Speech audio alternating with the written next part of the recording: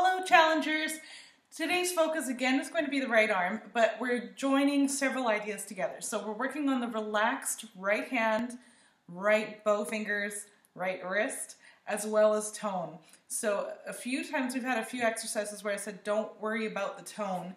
Our entire focus on, is on the mechanics of the hand, how loose the wrist is, what our fingers are doing, and connecting um, the bow movement with that. So today we're putting that all together because what I want us to focus on now is using the wrist to create smooth tone because that really is the essential uh, point of using the wrist and the hand.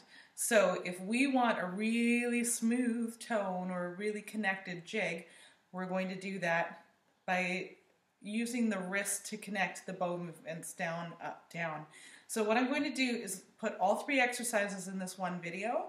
If you're advanced, I'd like you to do all three. If you're intermediate, I'd like you to do the first two. Beginners, you're starting to focus on a long whole bow.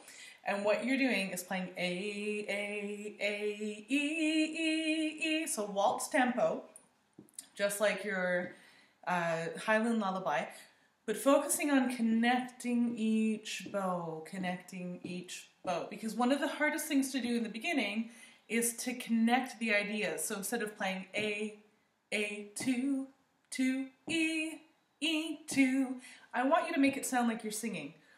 I saw my baby lying there, lying there, lying there. And that's going to come from connecting the down and the up bow through a fluid wrist and forefinger movement. So watch this.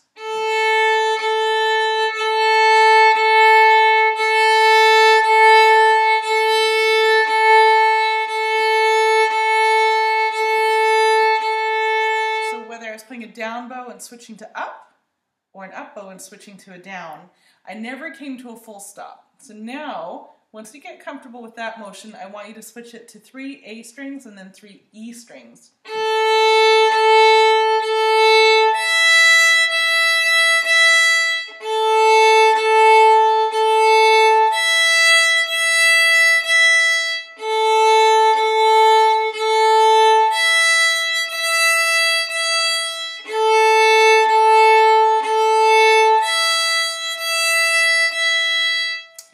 Essentially do that exercise, keep running it until you find that you're not stopping. If you find yourself playing this,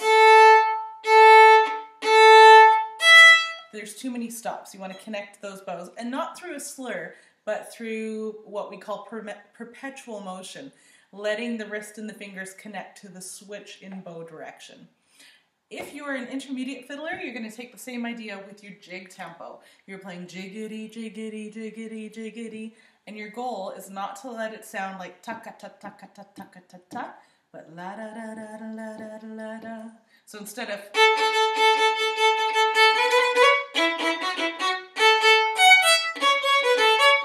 So we don't want that detached sound. We want to be able to dance to it. And the way you're going to do that is again, don't let your bow come to a full stop.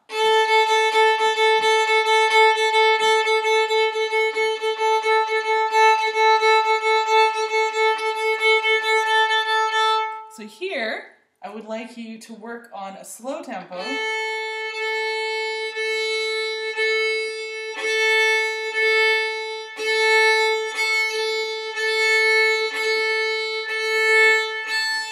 So it comes back to that idea with the pencil of feeling like you're pulling and pushing and pulling and pushing.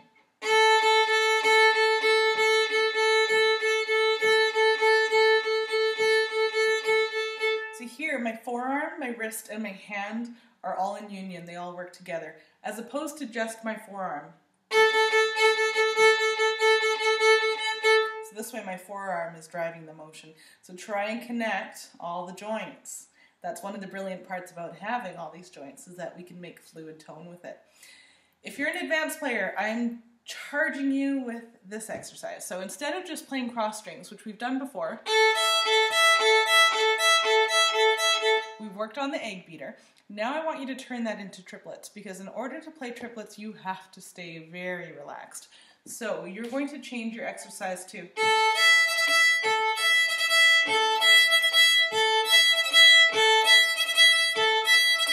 So down, up, triplet, up, down,